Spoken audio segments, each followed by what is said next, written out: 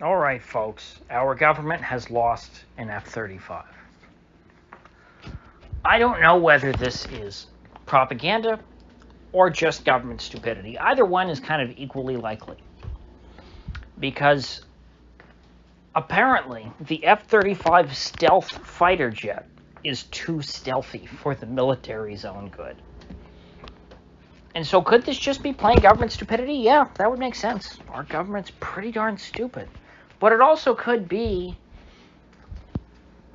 trolling, propaganda trolling, to make the public and uh, other countries think that the F 35 is actually so stealthy that not even the United States knows how to find one when it's in uh, stealth mode. Or I don't know if it has a name.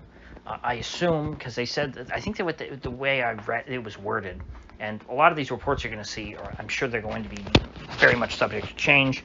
Uh, but I think they said like the transponder's off is is kind of how it works, which would make sense if you're trying to be stealthy in your plane. You're not going to turn on your transponder. But the uh, the pilot ejected. The plane kept flying, and I guess just probably well, it must have run until it ran out of fuel and just fell into the ocean. Hopefully, I mean, we didn't hear about it landing, uh, you know, on top of anybody's house.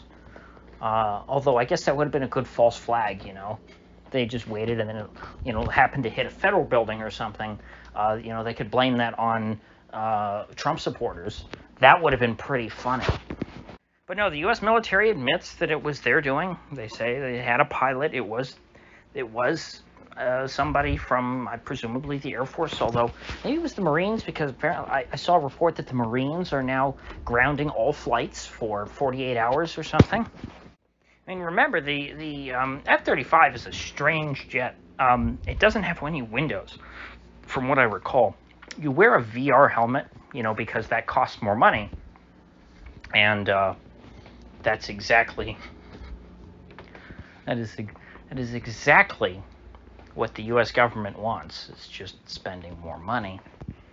You know, I talked about how expensive F-16s are and how ridiculous it is. Oh my gosh, F-16s to Ukraine. This is just a way to try and spend more and more money because, you know, tanks are too cheap uh, and ammunition's too cheap. They want to spend more money on Ukraine, so F-16s is the only way. Um, the F-35 costs, what, like 10 times more than an F-16? And the VR tech inside of it probably will, is already obsolete because the F-35 entered development what like 15 years ago, uh, actually probably longer than that. But when did they finish it? They finished it around maybe uh, 2017 or was it 2015? Now this isn't the first time that the U.S. has lost some fighter planes.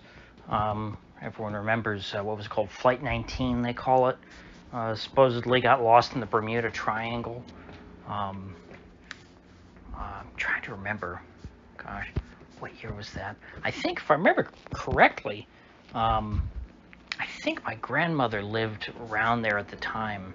Has memories of that. I should ask her about that one time. But anyway, the uh, those guys, I was during World War II, went out on a mission and, and never came back. Who knows what happened? But this guy, the interesting thing is they found the pilot. They just have no idea where the plane is. What a strange occurrence. And the other weird thing is that the way this has been worded is that the military is asking for the public's help in locating the jet. Um, I would think that they would just have simple math. They would know how much fuel it had and how far it could have made it. If there was no pilot in it, and it, let's say it has, um, you know, it's programmed so that it, it won't let itself crash, um, it should just fly in a straight line uh, in until it runs out of fuel, right? Um, or maybe here's what they might be setting up, considering all the alien psyops we've been getting lately. And I'm someone who, you know, basic gut level, I have no problem believing aliens. I was always big into alien conspiracy theory stuff when I was younger, um, and I have no reason to like. I don't dislike it more now. I just think that there's a lot more psyops now. I think that um, you know the UFO stuff has gone from something that the government was very quiet about and evasive about to something that they all of a sudden are very open about, which to me is a big red flag. And so I think that perhaps this could be another alien psyop in the working or in the making, where they say, you know, actually what happened was this F-35 encountered a UFO, and the UFO seized control of the plane, and so the pilot had to eject. And the pilot will go, I saw it, I saw it. It had two big black eyes and a giant head on a four foot tall body. And eventually they'll find the flying saucer um, crashed next to the F-35 because you see the F-35 is such a smart plane that on even on autopilot it was able to engage in a dogfight and actually beat the UFO in a dogfight. Um, and so even though the F-35 eventually crashed because it ran out of fuel, it was able to take down the flying saucer with it. Uh, and uh, the the brave pilot will then, before uh, before Congress, perhaps even a, a joint session of Congress, he will wheel out the mummified body of the alien pilot, but only after being prompted by Senator, uh, gosh, who's the most into aliens? Maybe Senator Rubio or something, asking him, Are the aliens here with us right now? And the pilot will respond, Yes, it's here. Flesh and blood under the floorboards. And he starts to to to lift up under the carpet and a trap door is exposed. After which the body is lifted up. It was kept under the floor so that it could stay in cold storage. So all in all, if this F-35 thing were actually a big deal, they wouldn't be telling us about it. They would cover it up. It just wouldn't be in the media. The F-35 going missing, if it were um, actually a mistake, I don't, I just don't see it being a story.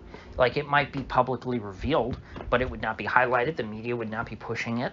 Uh, it would be something that they would try and sweep under the rug, even if they couldn't conceal it entirely. But I mean, considering the pilot didn't even die, I mean, there's it would be there's no reason they couldn't cover this up.